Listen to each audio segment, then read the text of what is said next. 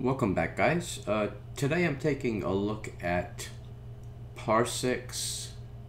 Uh, it's a Debian distribution. It, uh, as far as I can tell, it only comes in the GNOME desktop. And let's take a quick look at Parsix. Now I noticed it on DistroWatch uh, just recently, within the last couple days they've issued a uh, distribution or a, a new version based on what appears to be Debian testing. Now they're calling it 8.5 test-3 Atticus. Uh, just released on the 23rd of January. Uh, it has, it looks like this, it is the third version of the test. So it's it's come out. Let's see if we look at the uh, the news. Uh, 8.5 test 2 was released in de in December. Uh, 8.5 test 1 was released in October.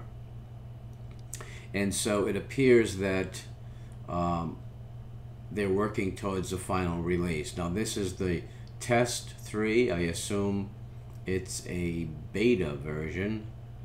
Um, it's based on De uh, Debian testing, I believe. Now, I pulled up the sources list, and the Debian testing repositories are disabled. They're commented out in the uh, in the in the sources list. So you would not be pulling uh, if you if you ran an update, you would not be pulling in uh, any uh, apps or packages from the Debian testing repo. And let's see if we can take a look at the sources list. You can see that the Debian testing repos are commented out. Uh, the Parsix official, the Parsix continent, Parsix multimedia and security. Those are enabled. So that's where you would pull in your updates from. Now I did uh, do a prior install and I uncommented these and I did an up update and then an upgrade and it didn't go well. Um, it actually, you know, it booted back up, but it had some broken packages. And so I'm not sure why they're listing these if they don't want you to use them, but uh, nevertheless, um, it appears that they have everything uh, in their repos because I, I had no trouble installing anything. So let's take a look at some other information. Now, the download uh, comes in 32-bit, 64-bit. It's the testing version, and they do have a stable version. The last release on the stable version was September 20th. And so it's a little bit confusing because they're calling it testing version, but they're not pulling in anything from Debian testing. Uh, and so it could be that they're calling it a testing version because it's a beta. And it could be that it will become the next stable version. And so um, it does, it looks like it only comes in the GNOME desktop. Now, when I installed it, I didn't have the option to uh, install any other desktops. Number one. Number two, um, I could not create my bootable USB drive using the dd command in Linux or unetbootin in Linux basically what I did was the only way I could get this to boot off the USB is to download the testing version. I did the 64-bit. And then I booted into Windows and I used Rufus 2.6 to create my bootable USB and that booted up with no problem at all. Now it is a uh, typical GNOME desktop. When I say that, um, I mean that if you you can see that everything looks familiar from a GNOME standpoint and if you bring up the tweak tool you'll see that it's a typical GNOME installation. Appearance is typical. You can go to the dark theme. The GTK theme is Parsix 5 using Faenza icons. DMZ black on the cursor and the shell theme is Parsix. Now for desktop, icons on the desktop are enabled. Extensions, uh, these are the typical extensions that you get with the GNOME desktop and you can get more um, by clicking get more extensions it boots you into the uh, Iceweasel to the uh, GNOME extensions website. And there, there you can download uh, whatever it is you'd like now these are the ones that are included. And in order to uh, for caffeine for example if you want caffeine then you can install uh, caffeine. And let's see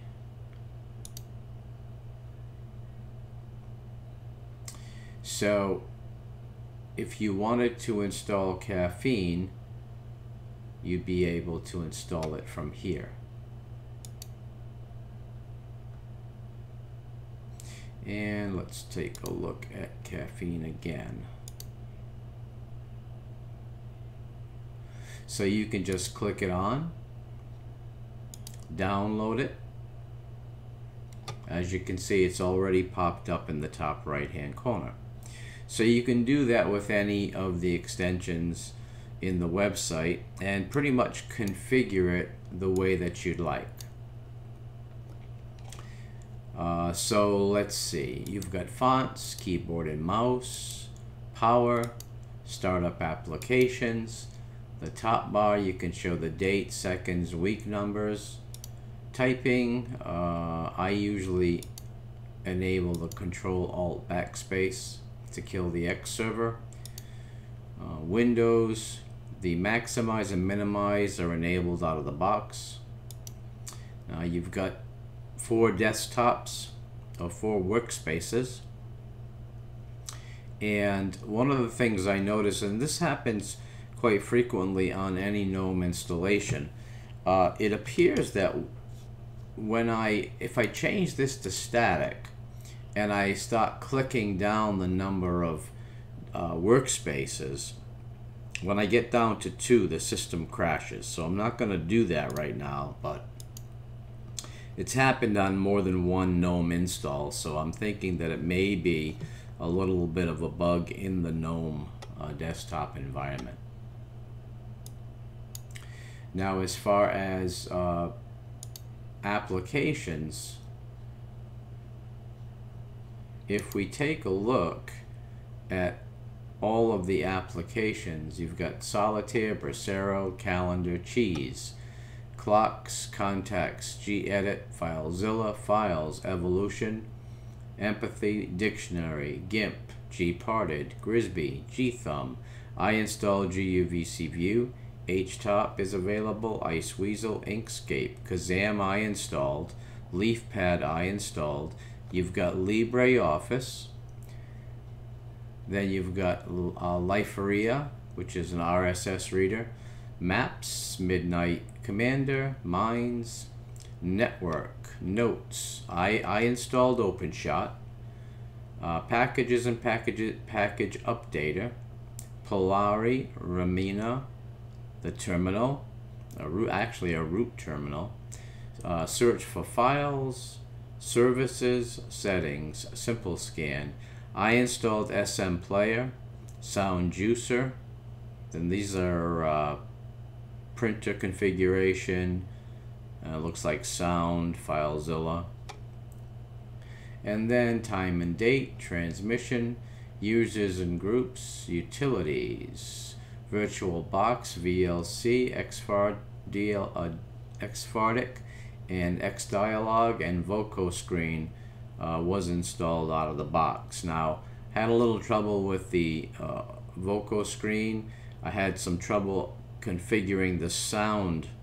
Um, I was getting uh, some hissing on the sound, so I'm using GUVC View and I'm using Kazam to make this video. So you can see in the lower left hand corner. You can see Kazam uh, is running. And I've got the desktop icons enabled. Now there are background wallpapers typical GNOME wallpapers. You can use your own pictures and you can use solid colors For configuration, you've got online accounts, privacy, all of the usual configuration options. The sound, as I said, I had a little bit of a problem with some hissing.